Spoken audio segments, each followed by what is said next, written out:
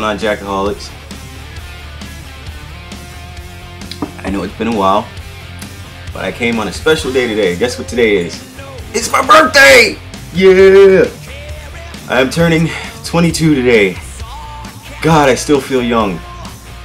And a bit mindless still.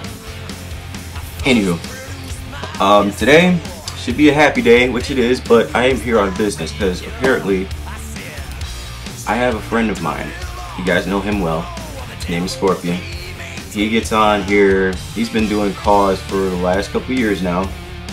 And I have a problem with this new thing on the, the uh, WWE games called texture hacks. Now, what the texture hacks can do, from what I see, make the characters look more like the in-game characters or some of the characters that aren't in the game look more lifelike. Okay, I understand that that texture hack is cool and all, I get that, but when it overshadows other creators' creations in this community showcase, it sort of pisses me off, especially if it's a friend of mine that gets overshadowed. Now, my buddy put up a, a Brock Lesnar last year that was on the community showcase once. Okay. A few months later, I see another Brock Lesnar with a texture hack that had a higher view than my uh, my brother Scorpion's Brock Lesnar. I was pissed, and he was pissed, and that's why I'm putting up this rant because I honestly I don't like this new thing called texture hacks. I really I really don't. Um, it's really making CAW creators lazy, in my opinion. It's really making them lazy. I mean, the fact that my brother works so hard on all these CAWs. he works on people that that are requested to him, everybody that's requested to him. I mean, he's even done Fred Durst from that was some uh, that was requested to him, and he's done a oh my god, I'm at a loss for words even trying to explain how good this Fred Durst is. But he did a tremendous job on that Fred Durst. It looks amazing. Uh, one of my favorites, he, he even did a request for me, was Yokozuna. I always love Yokozuna. He's always funny because I love Mr. Fuji too. He did Yokozuna a few um, few years ago, and it looked tremendous. I mean, he he busts his ass night and day working on these CAWs, and I wish you guys know how long he sits on the paint tool to work on these CAWs to bring to bring more life to them even though he's he's been working on these CAWs for a long time. I just wish you guys understood how much hard work and dedication he puts into these creations for people to see and for people to download. Like, I mean, the most recent incredible work I've seen him do was Len Oddity. And by God, Len Oddity, I have not even watched any of his matches but I saw one of his promos and I fell in love with his character. And then when I saw Scorpion put up his um, his CAW in a video and showed me a, a bit of uh, what he's done with Len Oddity, it's, it's just simply amazing.